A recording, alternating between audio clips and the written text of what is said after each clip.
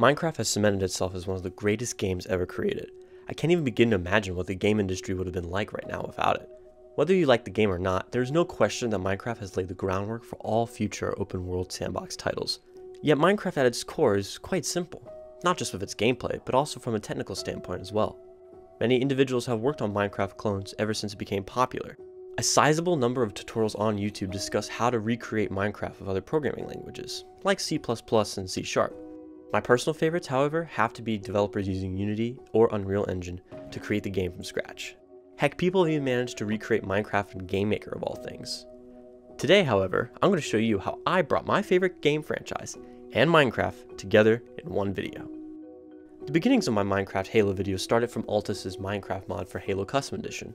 There have been previous custom maps for CE that have ported Minecraft content to the engine, but nothing like this. Altus's Minecraft mod has the ability to place and break blocks along with a slew of ported weapons that retain aspects from both games. The mod is amazing, and I recommend you check it out. All of his hard work inspired me to take a crack at this in Unity. Now one important thing to remember with game development, and especially doing it on your own, is that there are plenty of resources open for you to use to help get started. I'm not a programmer, and it is exceedingly difficult for me to break down systems in my mind and translate that into some form of code. That's why I spend plenty of time browsing GitHub for open source solutions to problems I can't solve on my own.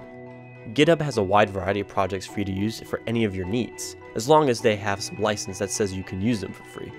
Don't be afraid to try exploring these existing projects though. I find myself learning quite a bit from them and it makes development so much smoother. My goal was to find a Minecraft project someone worked on with Unity that I could use. Many programmers have taken turns at replicating the chunk generation Minecraft uses and bringing that over to Unity. Others, however, have fully replicated some of Minecraft's gameplay mechanics, which is exactly what I wanted. Luckily for me, someone named Alex Shedelbower had did just that.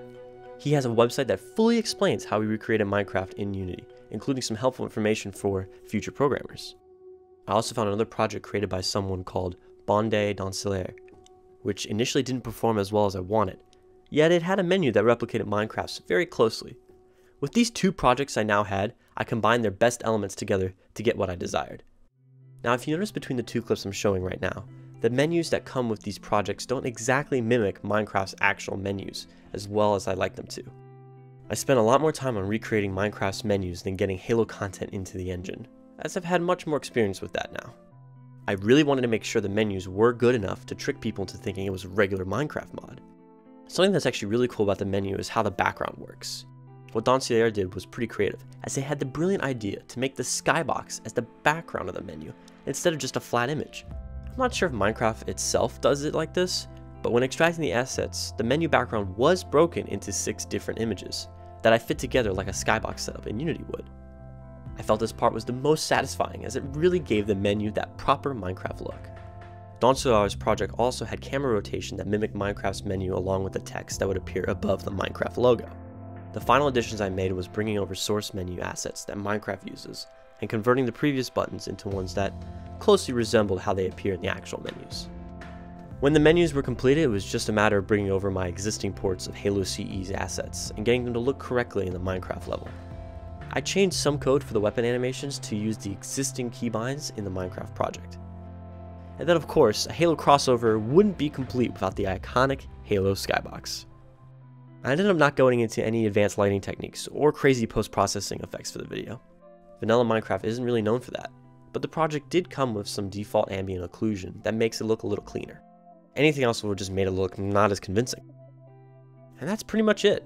I encourage you guys to go and check out these projects I've linked below to play around with what they have to offer. If you make something cool with them, please share it with me because I love seeing this kind of stuff. As always, leave a comment below, and don't forget to subscribe to the channel to see more awesome Halo content.